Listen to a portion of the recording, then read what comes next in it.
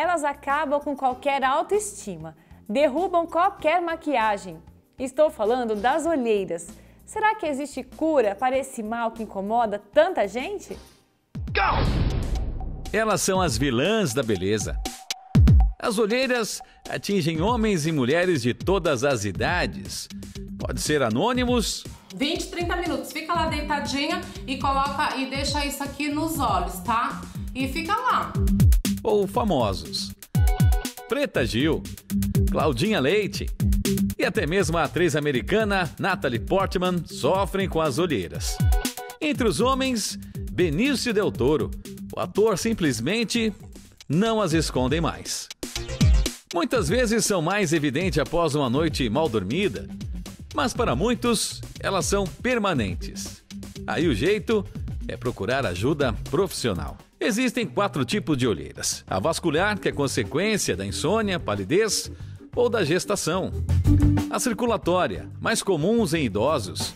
A alérgica, resultado do ato repetitivo de coçar essa região. E a hereditária ou melânica, encontradas em pessoas com a pele mais morena. Para muitos, podem parecer bobagem, mas para a Natasha é algo sério que acompanha desde a infância. Elas me perseguem por ser algo genético, então minha mãe tem, minhas tias, primos. Então foi algo que me acompanhou desde a infância. Com o passar dos anos, as olheiras se tornaram mais visíveis. Aí não teve jeito. Começou a me incomodar agora há pouco tempo, foi quando eu comecei a procurar os tratamentos. Natasha aderiu a dois procedimentos: o laser e também o peeling. Dos tratamentos clareadores, né, da melanina, do excesso de melanina, a gente tem alguns tipos de laser, né? Então tem o laser luz pulsada, tem o laser fracionado, tem o laser que switch, tem o laser 1064, tem vários tipos, né? Então cada um ele vai é, tentar ir lá no melanócito, na melanina, destruir aquela célula e ir tirando a olheira. Também vai melhorar assim o colágeno, a flacidez, vai deixar assim essa área dos olhos mais retinha, mais esticadinha. A Priscila é outra vítima das temidas olheiras que também são hereditárias. Ela revela que começou a incomodar mesmo quando outras pessoas passaram a reparar nas manchas em volta dos olhos.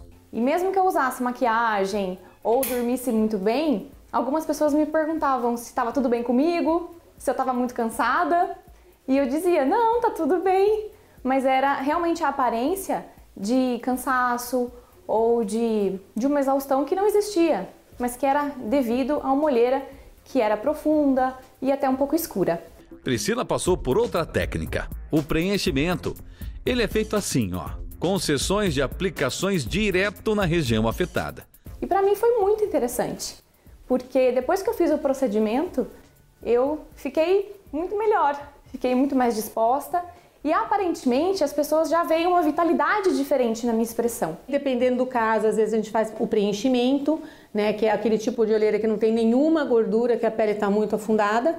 Você coloca um preenchimento, a pessoa está com aquele olho fundo roxo, você põe o preenchimento somente às vezes e imediatamente ela sai do consultório sem olheira nenhuma, já fica lisinho. A doutora confirma: dormir mal ou dormir demais é um prato cheio para realçar as olheiras. A privação do sono, né? É uma coisa que dá uma congestão no lugar, então a, os vasinhos ficam mais congestionados e dá um aspecto mais escuro na olheira então acentua realmente esse aspecto de cansaço, né? Que a olheira dá. E dormir demais, o é, que, que acontece? Quando a gente deita, né? A gente tem uma certa dificuldade de circulação no local dos olhos. Então, o que pode acontecer de várias horas dormindo é acumular um excesso de líquidos, né? Um edema. Então a gente acorda com aquele olho inchado, né? Que a gente fala, nossa, dormiu muito. Pepino gelado, saquinho de chá de camomila e tantas outras técnicas caseiras até ajudam a amenizar o problema.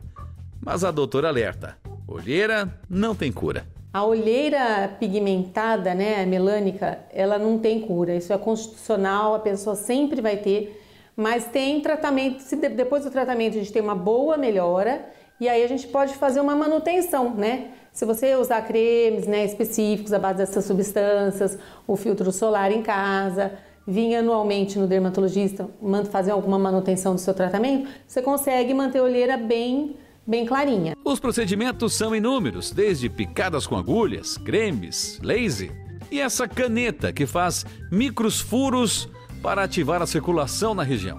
Pelo visto, vale de tudo na hora de combater as olheiras. E claro, ter a satisfação de se ver bem no espelho.